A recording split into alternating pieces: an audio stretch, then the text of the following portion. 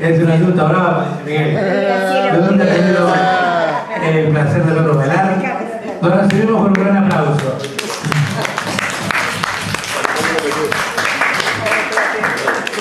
Vamos, plate.